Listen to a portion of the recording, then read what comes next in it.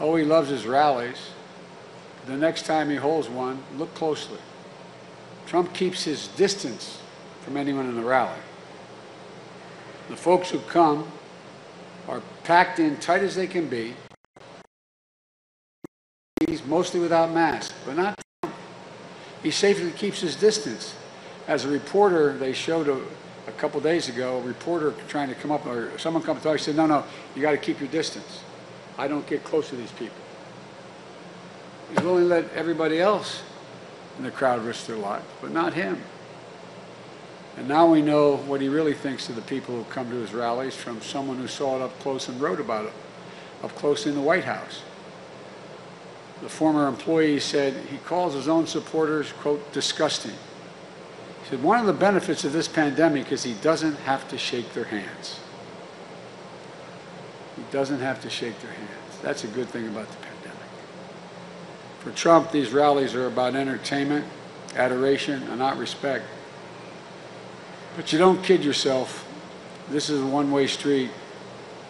Of all the things that Trump has said and done, nothing is more offensive than the way he's spoken about many of you and the brave women and men who served the nation in uniform, those who have given their lives in service to this nation. It's been confirmed by every outlet that he referred to them as losers and suckers. That's what Trump calls those who served and made the ultimate sacrifice. Let me tell you something. My son Bo served and volunteered to go to Iraq for a year, won the Bronze Star, came home decorated, came home with stage 4 glioblastoma and died of cancer. He wasn't a loser. He wasn't a sucker. He was a patriot. And all those people with whom he served volunteered were patriots as well just like your sons and daughters and many of you, your moms and dads. Frankly, I've dealt with guys like Trump my whole life. Guys from the neighborhood I come from who look down on us because we didn't have a lot of money, or your parents didn't go to college. Guys who think they're better than you. Guys who inherit everything they've ever gotten in their life and squander it.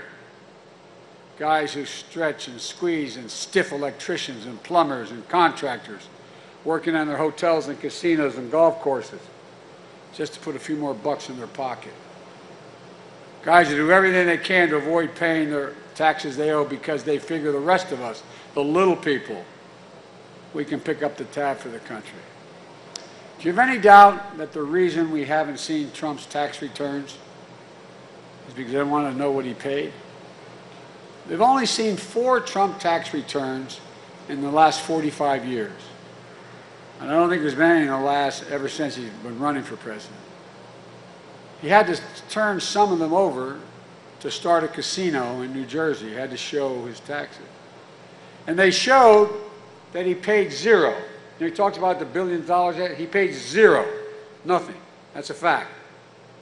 And when he was asked about it, you know what he said? This is why I really don't like guys like this in my neighborhood.